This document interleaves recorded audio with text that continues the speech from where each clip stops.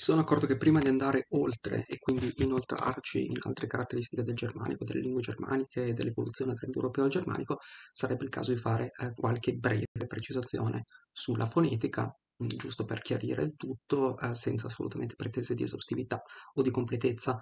Quindi ehm, partiamo dalla definizione di sillaba. La sillaba è un'unità di struttura fonologica, o meglio ancora fonetica, che viene pronunciata con eh, un'unica emissione di voce e che è costituita da un nucleo, che può essere un dittongo, una vocale, una sonante, a cui poi si possono, volendo, aggiungere uh, delle uh, consonanti o anche una sola consonante. Una vocale, che cos'è una vocale? Beh, la vocale è un suono la cui articolazione prevede un passaggio libero, non ostruito, non bloccato dell'aria attraverso uh, il canale uh, fonatorio uh, ed è sempre sonora. quindi A, E, I, U, O. Io posso andare avanti a prolungare il suono fino a quando ho fiato, perché non incontro alcun blocco all'interno del, della mia struttura fisica che mi permette di produrre suoni. Uh, possiamo avere anche un dittongo, quindi una unità uh, uh, costituita da due vocali che vengono pronunciate sempre con unica emissione di voce e anche um, ci sono dei casi in cui abbiamo delle sonanti, quindi non si tratta in questo caso di vocali, ma comunque possono costituire il nucleo di sillaba, però questo è un discorso a parte. Quello che quindi distingue una vocale da una consonante è proprio la presenza o meno eh, del blocco, di, di, questa appunto ostruzione, di questa costrizione del canale fonatorio, che nel caso delle consonanti è sempre presente, anche se eh, con eh, modalità diverse. Infatti si va a parlare, per quanto riguarda le consonanti, di una classificazione sulla base del luogo, del modo e del grado di articolazione. Uh, sulla base del modo di articolazione uh, possiamo ad esempio considerare le occlusive. Uh, le occlusive eh, sono quei suoni consonantici in cui l'ostruzione è totale, è completa, c'è un blocco vero e proprio che si interpone tra il passaggio dell'aria e la sua fuoriuscita in forma quindi poi di suono effettivo. quindi t, d, k, g, io non posso eh, pronunciare questo suono all'infinito, o f- neanche fin quanto ho fiato in gola, perché eh, incontra eh, un blocco, eh, un contatto costituito appunto da un contatto eh, stretto e totale eh, di alcuni organi articolatori.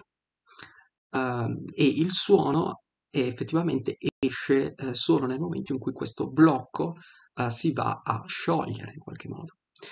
Ecco poi la fricativa invece eh, presenta un contatto di alcuni organi articolatori eh, non totale, non completo, eh, crea quindi una sorta di fessura attraverso cui passa un suono che all'udito risulta molto simile a quello di una frizione. S oppure Z, uh, sh. Uh, e poi abbiamo la fricata, le affricate sono eh, delle particolari consonanti che hanno una prima fase occlusiva ma non esplosa e una eh, seconda fase invece di fricativa.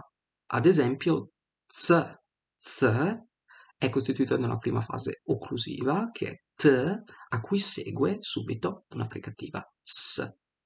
T, s, ts, ts.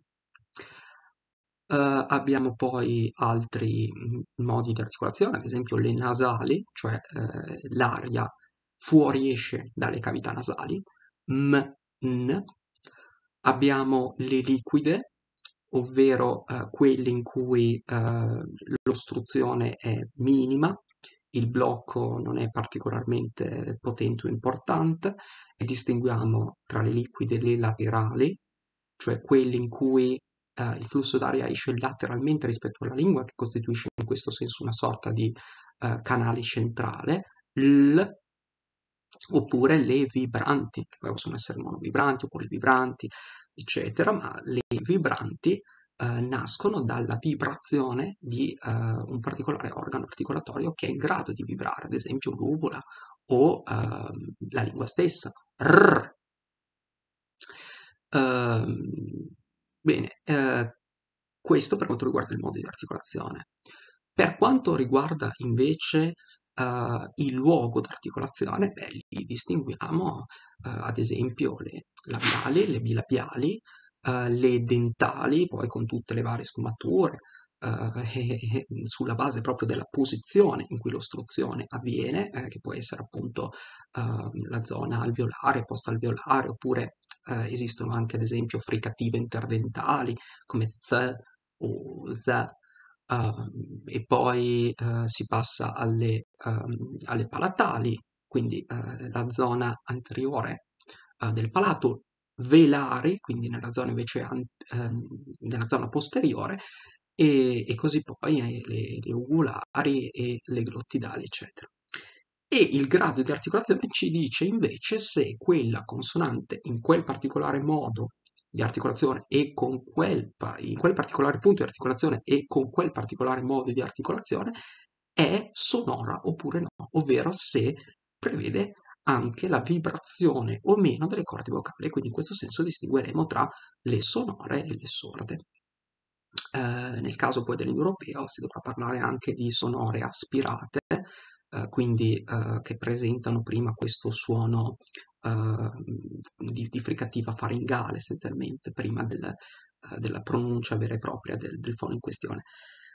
Um, quindi uh, penso di, nelle linee essenziali, aver detto tutte le cose che ci servono. Mm, forse sarebbe il caso anche di dire che cosa intendiamo per radice, perché spesso si parlerà di radice, quando ad esempio si fa riferimento al fissarsi dell'accento radicale, al fenomeno della risotonia, vi dicevo che l'accento in germanico va a fissarsi eh, sulla radice della parola.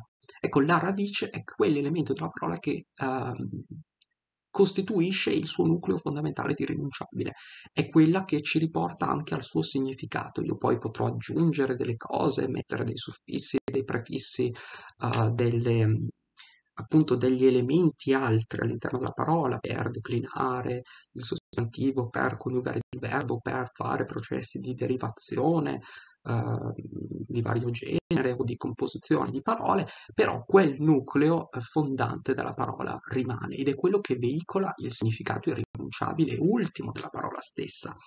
Uh, pensiamo ad am in italiano, da cui io poi traggo amai, amerò, amore, amare, amante, ma anche ad esempio amico.